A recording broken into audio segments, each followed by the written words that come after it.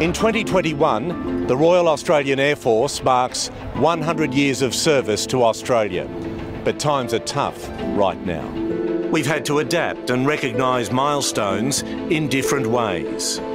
Throughout our history, Air Force has risen to the challenges of our times, always ready to lend a hand. We supported Australia's COVID 19 response and the terrible bushfires that affected so many communities. Formed by pioneer Anzac aviators after World War I, we are one of the world's oldest air forces. We flew our first bushfire patrols in the 1930s when we were just in our teens.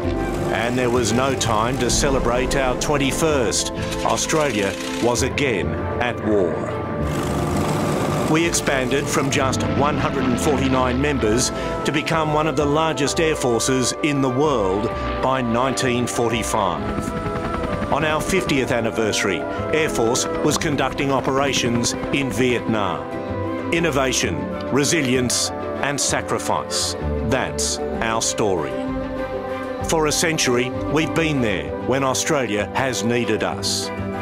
Patrolling the skies, defending Australia, helping our friends, working with industry, looking to the future and supporting our community.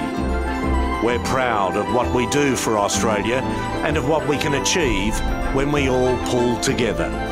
No one knows what challenges await us, but one thing's for sure Air Force will always be here, supporting Australians now as we have for a century.